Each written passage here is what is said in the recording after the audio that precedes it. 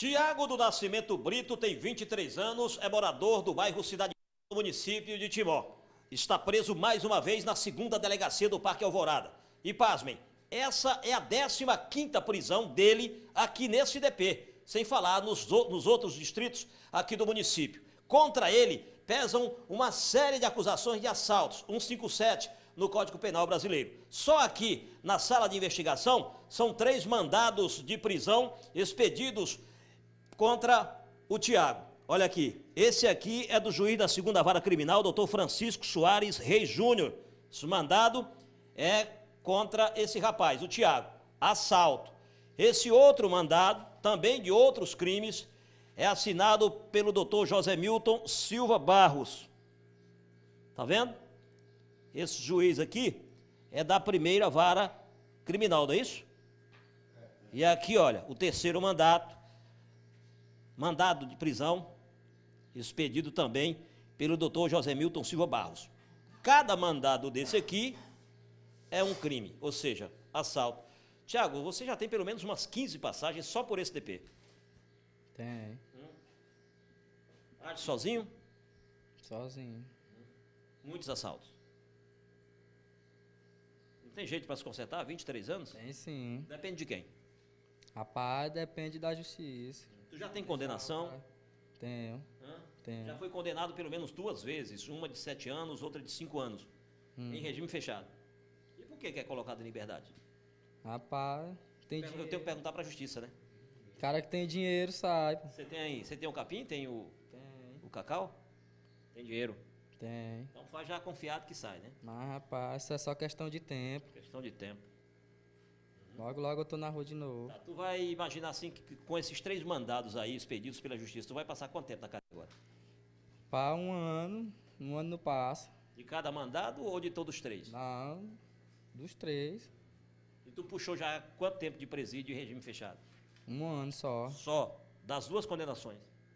Puxei só um ano aí eu saí. Depois eu puxei oito meses e saí. Puxei três meses e saí. Puxei quatro meses e saí. Tu tem assaltos, mas também já tem homicídio? Não, não. Tem tentativa de homicídio. Tem tentativa. Tentou matar quem? Rival ou foi um cidadão? Rival mesmo. Ah, Inimigo. inimigo.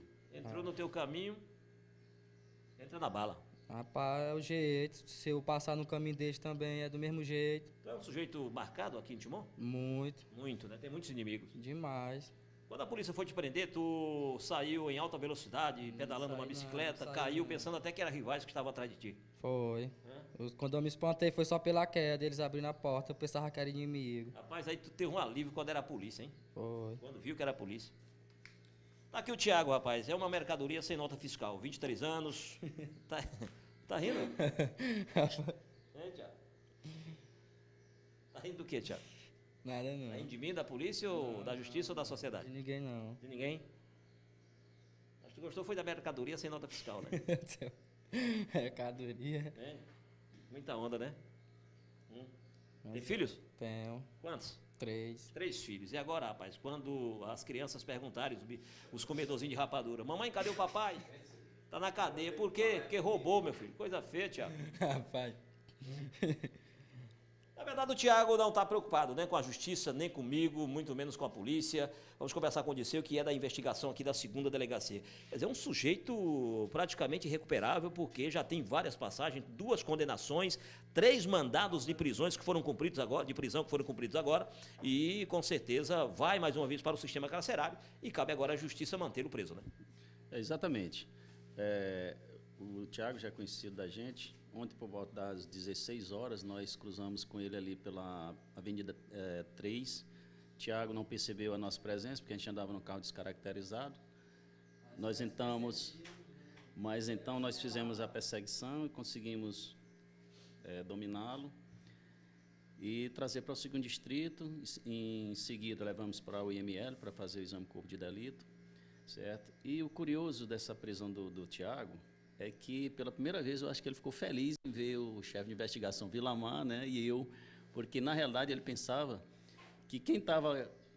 Que, que quando na, na- perseguição ele caiu da bicicleta, ele achava que eram os inimigos dele. Tiago é ameaçado de morte. Achou que naquele momento seria o último dia dele, seria o fim dele. Exatamente, relato dele mesmo. Ele falou que achava que ali tinha acabado a história dele, certo? E Tiago já levou um tiro já no, no- no- acima do peito, pelo esse desafeto. E agora nós faremos o recambiamento dele ainda hoje para o presídio Jorge Vieira. Tá certo, olha aqui os mandados, hein? Primeira, segunda vara criminal, juízes diferentes. Tiago, você é casado. Sou. Qual é a diferença, assim? Qual é a diferença não? Qual é a vantagem do sujeito ter a mulher dele em casa, bacana, no quarto, para ir dormir com a ruma de macho no presídio, macho? Rapaz, é ruim, mas fazer o quê? Eu não tô Depende indo porque ti. eu quero, né? Hein? Tá indo porque quer? Não tô indo porque eu quero. Eu mandei tu roubar. Não. É diferente demais, né? É. Pra dormir na costelazinha da mulher, para ir dormir com a ruma de caboclo fedorento. Mas tá ligado. Já acostumou, né?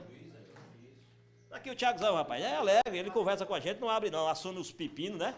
Assume tudo. Foi boa viagem, viu? Na hora.